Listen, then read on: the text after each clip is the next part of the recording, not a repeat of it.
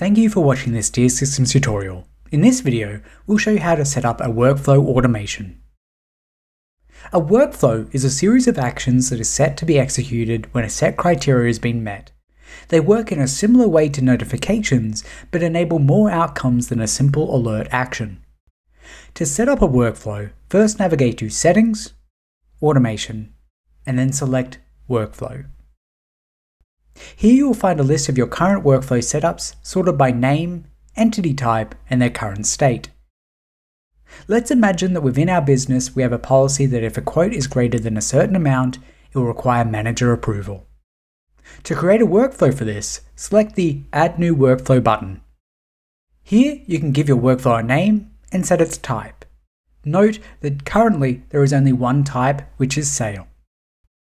Then, make the workflow active before selecting Save to start building the workflow itself. Once saved, you'll be able to select the Add Event button. This is where we'll add the first event in our workflow and the related actions that event triggers. From the dropdown, let's select Sale Quote Authorize.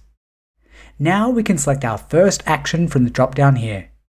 Let's select Confirm which is an action that notifies a select user or group of users and requires confirmation before the workflow can proceed. Before we configure the details of the action, let's first configure the specific conditions that qualifies this action by selecting Configure a Condition. Here we can select multiple parameters that need to be met, but to keep things simple, let's use our example and make the parameter related to the quote value. Select the plus symbol. Then, in parameter name, we can select the quote total from the large list of available parameters. Now we're able to select the condition, and for this scenario, we want the workflow to only trigger when the quote value is greater than or equal to $100. So we'll select the appropriate condition and include 100 in the value column. We could continue to add parameters as needed, but in this instance, we'll select OK to save our condition you'll now see the condition logic next to the action name. Now we can set exactly how our confirm action will react. In this instance, we want to use the Send To dropdown to select our Sales Manager's mailing list. Noting that we have both mailing lists and sales orientated contacts such as customer at our disposal. We'll be sending this via email, which can be configured by selecting the email icon. Here you'll be provided a template composing window where you can create both a subject and email body for this email. You can also use the supported placeholders dropdown to add contextual merge fields to the document as needed. Simply by selecting one of the placeholders, it will automatically be added into your email template body. Select the Add Document as Attachment option to ensure the quote is attached to this email to the managers. Once completed, you'll be able to select which template layout is used for the attachment via the Attachment dropdown. Now we can set how this action will react when no response has been received from the sales managers. We can first do this by selecting a waiting time. And if after the waiting time period we still haven't received approval or rejection from the manager, you can select how many times you wish to resend the request for confirmation. In this period, the system will send another email, and then, if you haven't received any responses yet, you can redirect the request to another recipient via email, which we can do by adding another recipient to the No Response Received dropdown. When it's received by the recipient, we can simply leave this as undo. In the next field, click the Add Action button and choose the Authorize Order option. Here we're going to set up a condition so that the order is automatically authorized if the quote value is under $100.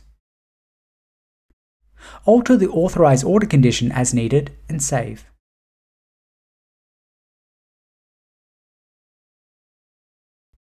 Now let's configure the event for when the sales approval has been received from the sales managers.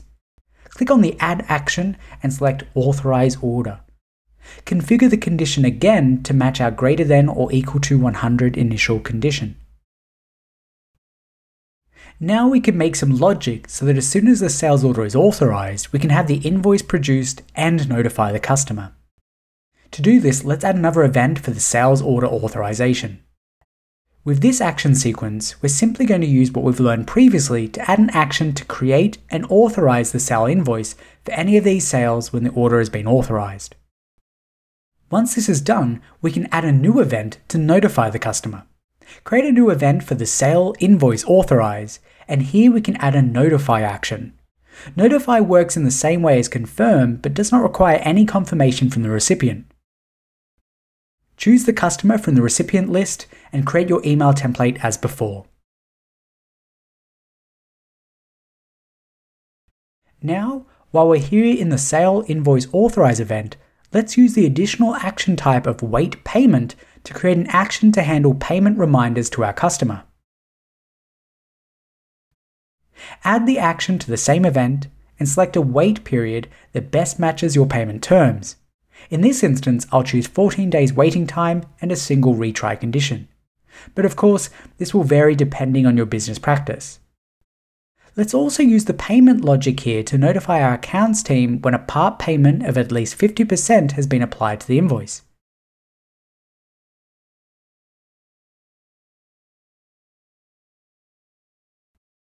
Otherwise, we'll set the notification to be sent to the customer with a templated email reminding them of our payment terms.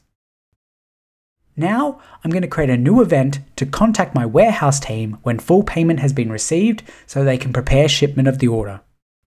Add a new event for the sale payment received condition, and then use what we've learned regarding notify actions to issue an email to our warehouse team.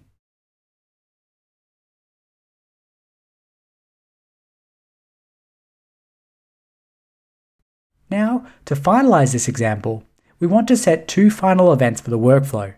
One to notify our customer once the sale has been marked as shipped, and another email sometime after shipment to thank the customer for their purchase and request any feedback on the product. To do this, let's first add a ship authorize event and add an action to email the customer with a shipping confirmation.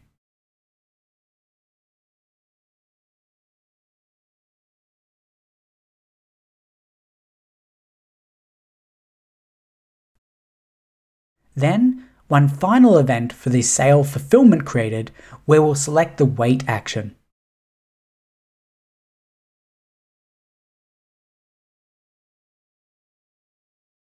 Here we'll wait a total of 5 days after the sale has been fulfilled before we email the customer.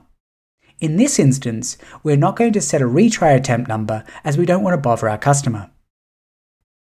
Now we're able to set the sub action. Here, Rather than setting a condition, we can ensure that this always fires by selecting always from the dropdown. Then select notify customer and create the email template as normal.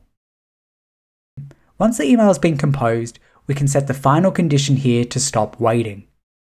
You would use keep waiting here if you had multiple sub-actions in the waiting action. As you can see from just this simple linear example, workflows can provide a large amount of custom automation that can be adjusted to meet your business process. Now, let's take a quick look at the workflow in action. I'm going to create a quote for a customer that is greater than $100 to ensure confirmation is requested from the sales managers.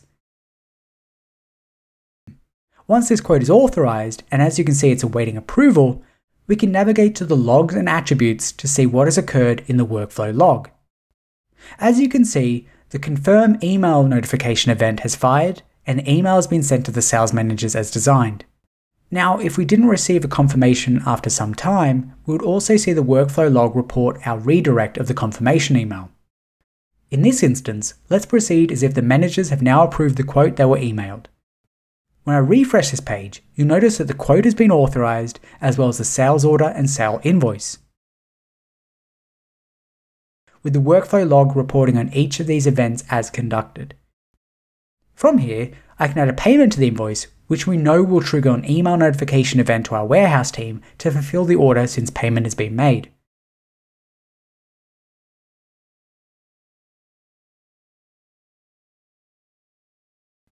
Refreshing the log once more, we can see that that has now occurred.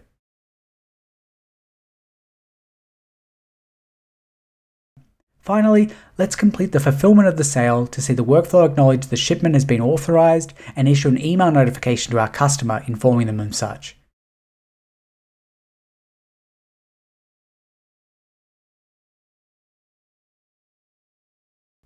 As we can see, the workflow log has reported the email to the customer confirming their order has been shipped. In five days' time, the customer will receive one final email from our workflow automation thanking them for their purchase and requesting any feedback. And that concludes this video on the workflow automation module.